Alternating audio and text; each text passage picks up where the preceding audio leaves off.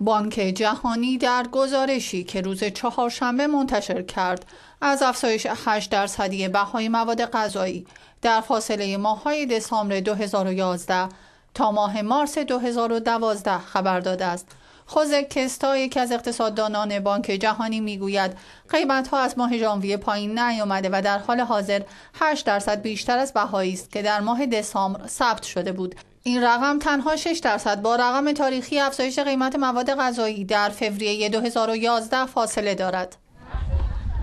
افزایش بهای مواد غذایی ساکنان کشورهای نظیر چاد و سودان را که با گلسنگی دست و پنجه نرم می کنند در شرایط ناگوارتری نسبت به گذشته قرار می دهد.